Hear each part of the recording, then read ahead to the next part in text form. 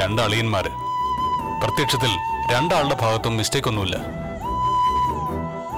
അങ്ങനെ വരുമ്പോൾ ഒരാൾ തീരുന്നതായിരിക്കും നിങ്ങൾക്കൊക്കെ നല്ലത്.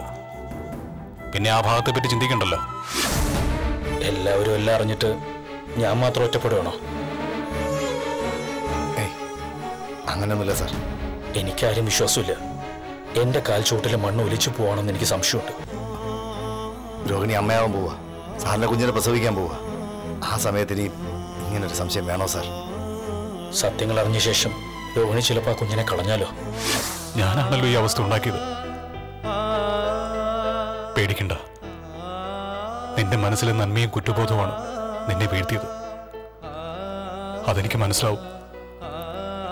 അതുകൊണ്ടാണ് ഞാൻ പറഞ്ഞത്. ഇനി എന്നെ കൊണ്ടൊരു ശല്യം ഉണ്ടാവില്ല.